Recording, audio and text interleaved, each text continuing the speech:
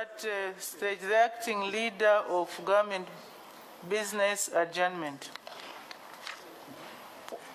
Point of procedure, Madam Speaker. I Speaker. beg to move, uh, Madam Speaker, I beg to move that the House do now adjourn. Thank you. The question Why? is,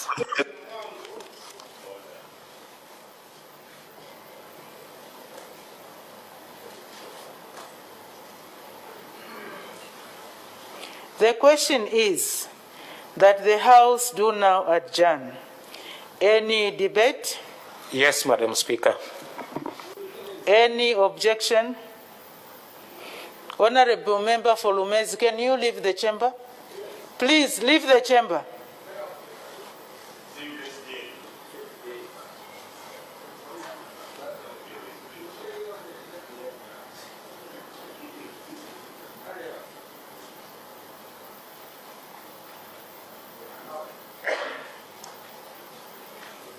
The question is that the House do now adjourn. Any debate? Any objection? The question is agreed to. The House?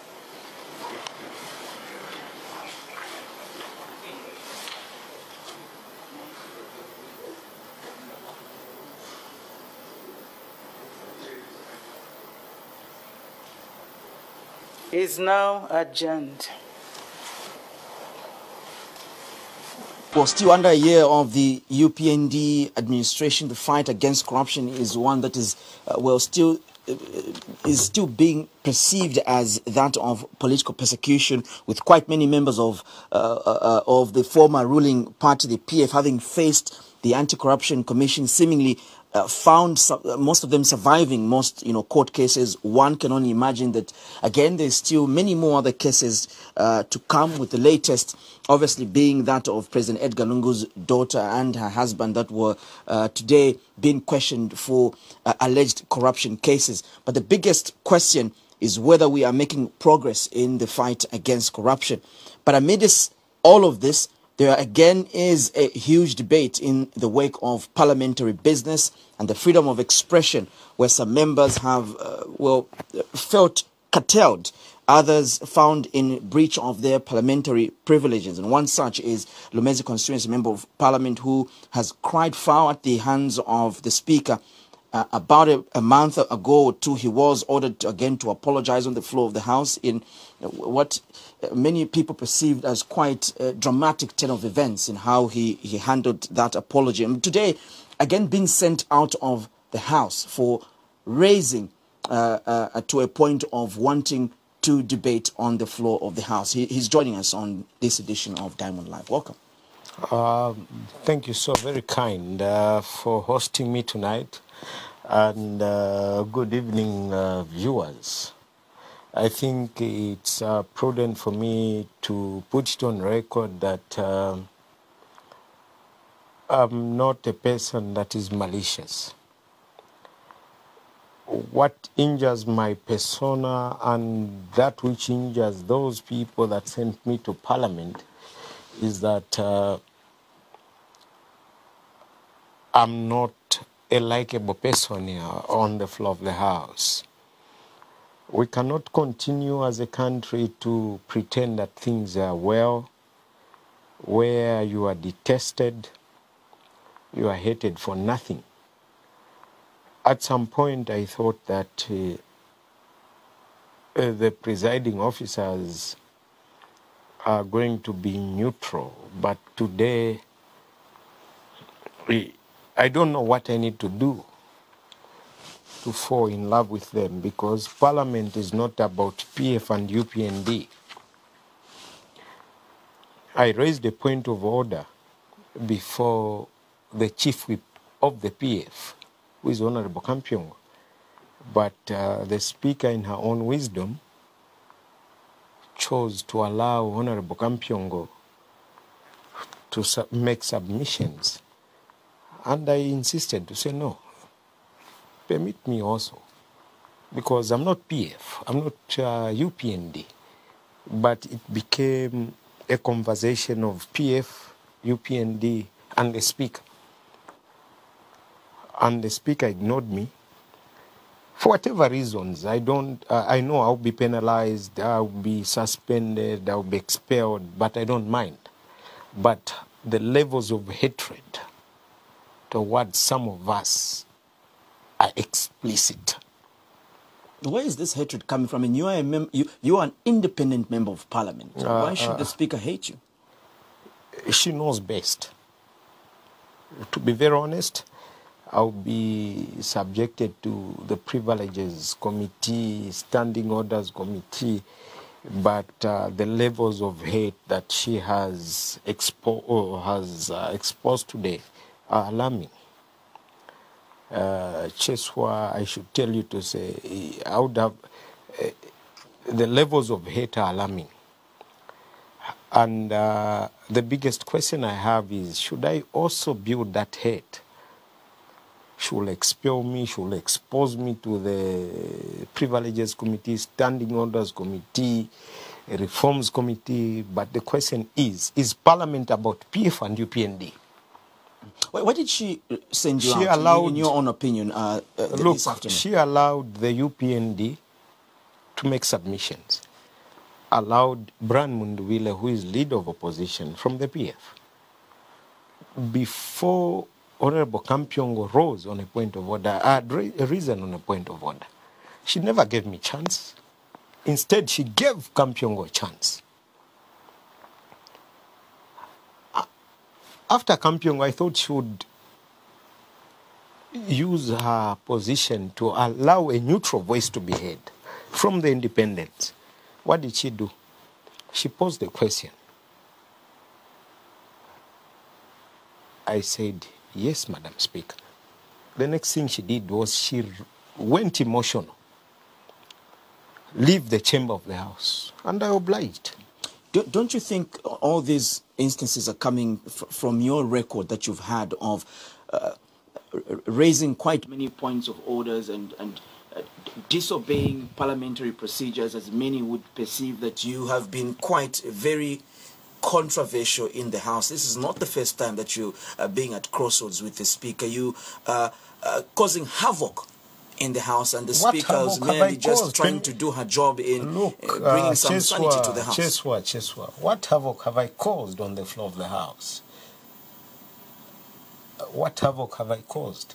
I've been, my life is in danger uh, because I shared privileged information with the Vice President. And the Vice President went to tell someone of our privileged information. Beyond that, the Speaker has also chosen a path to chase me out of the chamber for uh, saying yes. She asked a question. Any debate? I said yes. Of course, you Any you objection? There was no response. There was no response.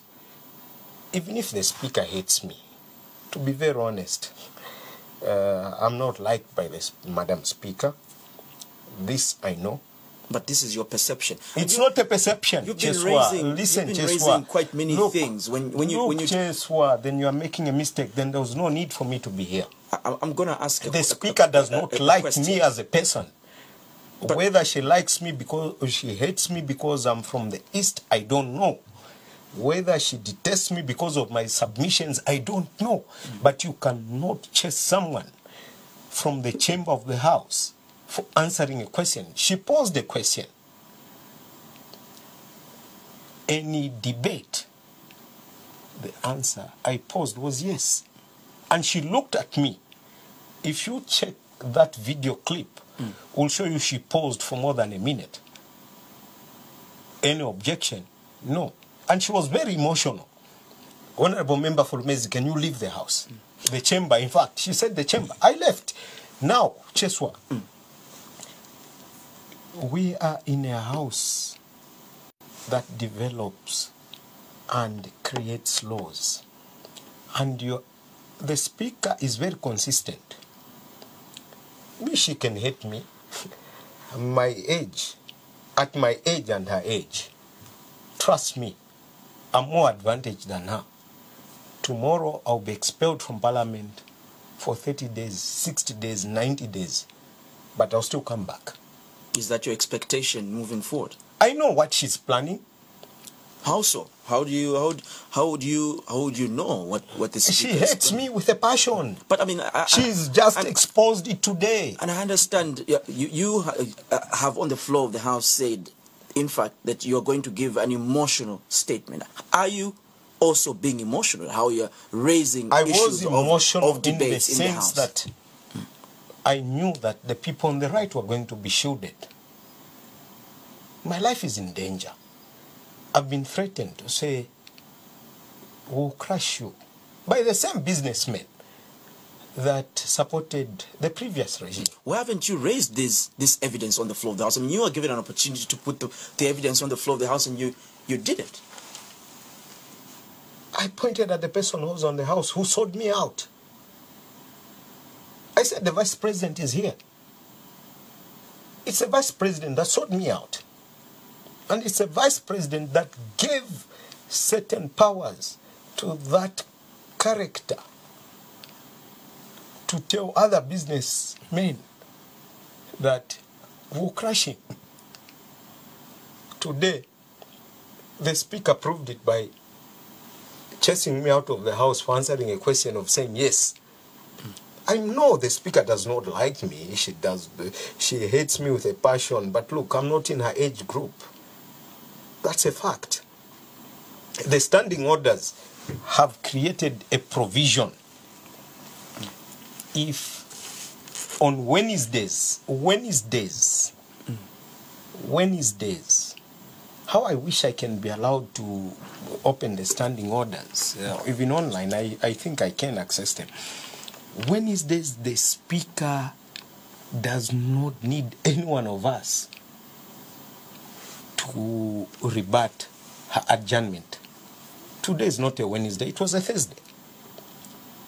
Wednesdays, the speaker's jurisdiction is non questionable according to our standing orders. Mm. But today is a Thursday. So why did the speaker take it personal on me? And she de- she looked at me, stared at me, and then said, Can you leave the chamber of the house? What do you think about your parliamentary privileges uh, moving forward? How do No, you I how do you, don't. how do you uh, for intend now, to Cheswa, I don't even Uh, have how do you intend privileges. to handle business, parliamentary business, if you are going to be thinking that uh, Uh, the no, person it's that is presiding over this affairs of the house It's is not being, about thinking. is being Cheswa. personal. uh, Permit me, let me you. mention, it's not even about thinking. I don't have the privileges. The speaker has taken a position. Uh, I was sharing it with a few friends before coming here. That is it necessary for me to, to be on the floor, uh, to be in parliament, where the speaker has already created. Remember, before this session, the speaker issued a strong warning. So don't blame me if I don't allow you to debate.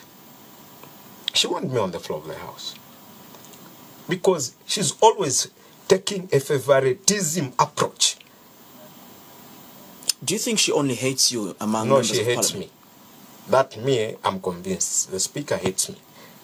There's nothing I can do to please her.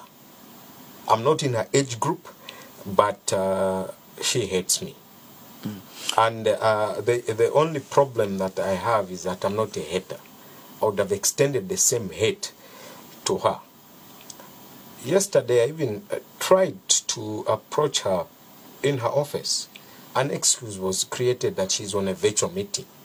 I knew she's just trying to excuse herself from having a conversation with me because there are some people that she has allowed to chair sensitive committees that are collecting one million kwacha, what amounts of money from different businessmen. And uh, she's giving it a blind eye. What do you make of the perception that you, you haven't been able to conduct yourself in the most honorable way as a member What of do you mean parliament? because this is way? this is not the first time that you're coming at crossroads with the speaker. This is not the first time that you have been asked to apologize and to give all those all these statements. All I'm asking is, wh- wh- what what do you, what do you make of the perception people are having now. I- that, I'm in that, the that- wrong that as, as, a, as a young person, you need to be exemplary, you need to show the leadership. But Cheswa, In the house and you need to represent to- the people of to- You want me to be exemplary? Can we be honest? Uh, Bring the speaker here, and she should explain why she hates some of us. Does she hate me because I'm from Lumezi? Does she hate me because I speak the truth? How do you tell someone that withdraw the word lie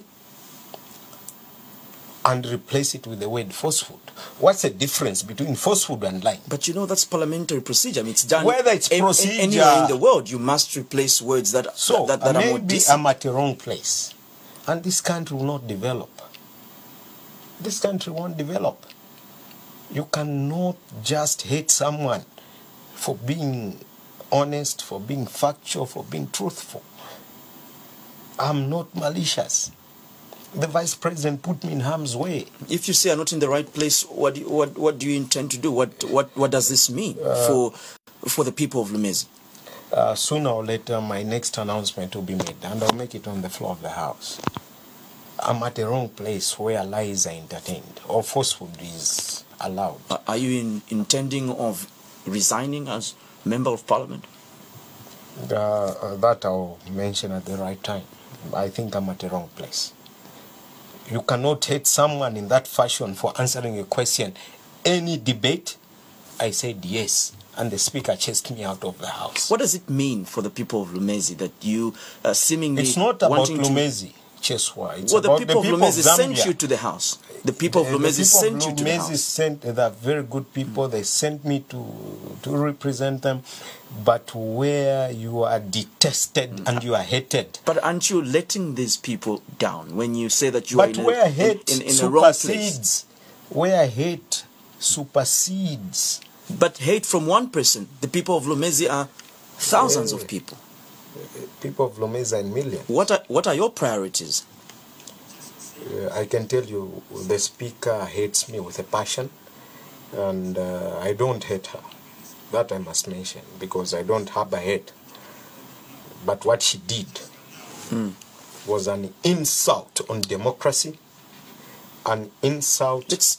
I I- I- I- I- I- I would- I would love us to just uh, take a short break uh, uh, to join us back shortly. Welcome back to this edition of Diamond Live. We'd love to uh, state very clearly in a disclaimer that uh, the views expressed on this program do not in any way represent the views of Diamond TV. Unfortunately, we'll have to uh, uh, end the program uh, uh, immediately, and we'll, we'll have to join you all tomorrow at 21:30. My